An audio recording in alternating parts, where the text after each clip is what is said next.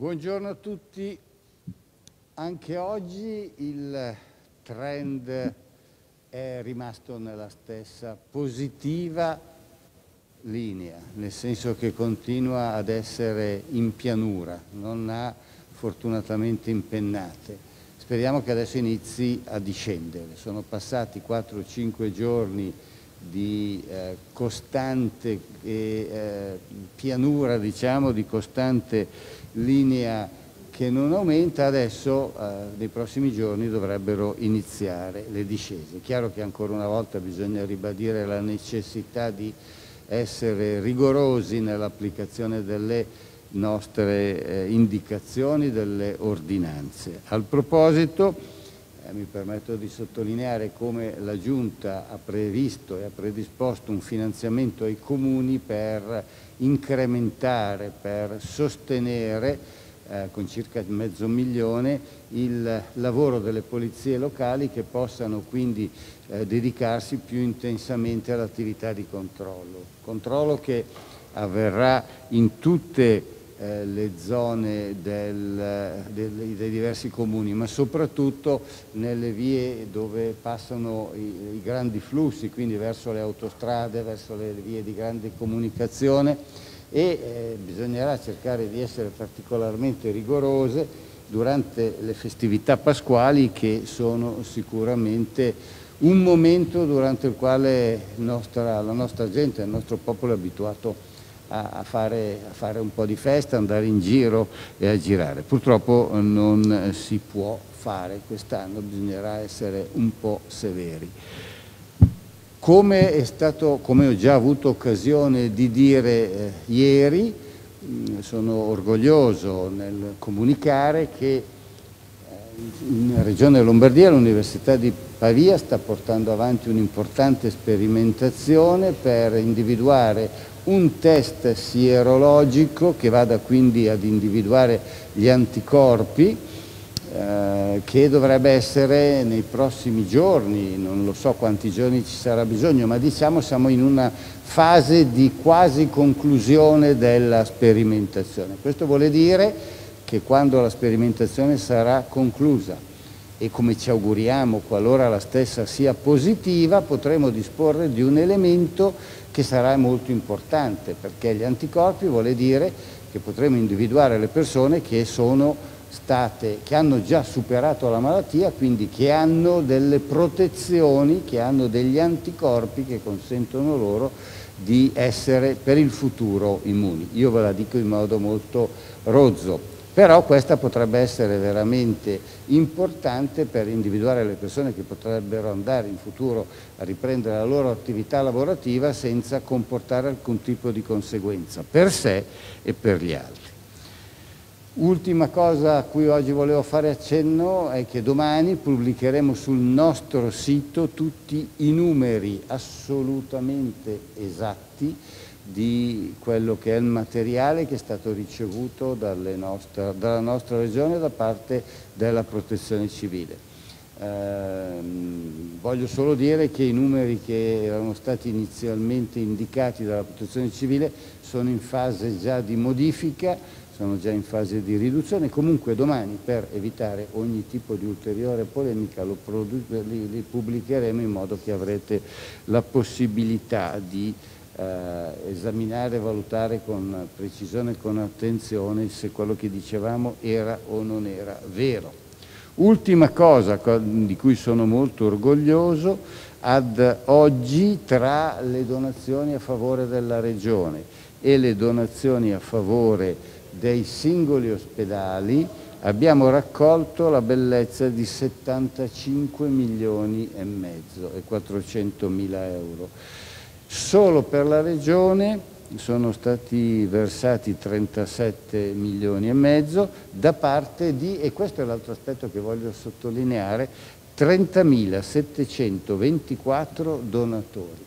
Questo è importante perché evidenzia come ci sia una partecipazione assolutamente estesa. Le donazioni vanno dai 50 euro ai 10 milioni e sono entrambi sullo stesso livello, sullo stesso piano, perché vuole, questa è gente che dimostra grande partecipazione alla vita della nostra comunità e vuole partecipare nell'ambito delle proprie risorse a risolvere i problemi che in questo momento stiamo affrontando. Sono molto orgoglioso. Oltre a questi 75 milioni complessivi ci sono poi i 21 che sono stati dati all'ospedale della Fiera. Presidente, eh, Paolo Maggioni, Rai News 24, ehm, sui test sierologici voi immaginate quando saranno validati eh, che possono essere disponibili per i cittadini nei laboratori medici oppure immaginate che eh, si debba andare in ospedale per effettuare il test? Ma questi sono aspetti tecnici che dovranno essere chiesti a chi eh, predisporrà eh, il tipo di esame.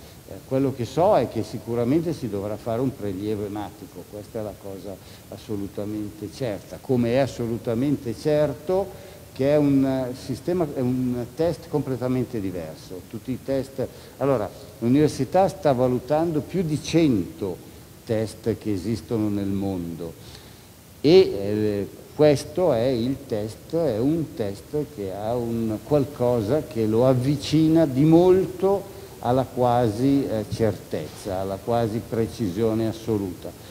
Gli altri sono stati tutti scartati perché non hanno queste caratteristiche, tant'è vero che come dicevo ieri anche il test rapido che era stato distribuito con kit cinesi, i kit sono stati ritirati perché non ha alcun tipo di credibilità scientifica. Quindi ecco perché io dico bisogna andare cauti, bisogna poter, a, a, bisogna poter disporre delle, degli esami nel momento in cui si è sicuri che quegli esami servono, se no rischiano di creare un danno perché rischiamo di dare via libera magari a qualcuno che è, è positivo e blocchiamo uno che invece magari è negativo. Quindi io credo che la cautela non, in questi casi non sia mai sufficiente.